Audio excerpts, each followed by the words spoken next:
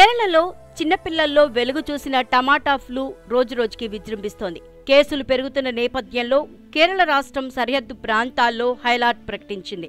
మైసూర్ కొడగు చామరాజ్నగర్ ఉడిపి మరియు మంగళూరు వంటి సరిహద్దు జిల్లాల్లోకి ప్రవేశించే రోజులవారీ ప్రయాణికులపై నిఘా ఉంచాలని రాష్ట్ర ప్రభుత్వం ఆరోగ్య శాఖ అధికారులను ఆదేశించింది. దాంతో కేరళ రాష్ట్ర వ్యాప్తంగా అన్ని చెక్పోస్టుల వద్ద నిఘా పెంచారు అధికారులు. ఈ క్రమంలో బావలి చెక్పోస్ట్ వద్ద హైలాట్ కొనసాగుతోంది. మైసూరు ఆరోగ్య అధికారి డాక్టర్ రవికుమార్ మే పదమూడు సాయంత్రం బావలి చెక్పోస్ట్ని సందర్శించారు.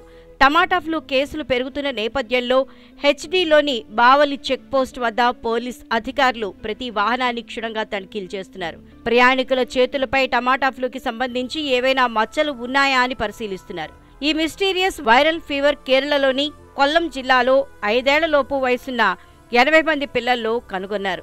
దాంతో స్థానిక ప్రజల్లో తీవ్ర భయాందోళనలు నెలకొన్నాయి. పొత్తికడుపు తిమ్మిరి వికారం వాంతులు లేదా విరోచనాలు చేతులు మోకాళ్ళు రంగు మారటం ఈ ఫ్లూ లక్షణాలు. టమాటా ఫ్లూ అంటువ్యాధి. దీని వ్యాప్తిని అరికట్టాలంటే వ్యాధి సోకిన వారికి దూరంగా ఉండాలని నిపుణులు చెప్తున్నారు.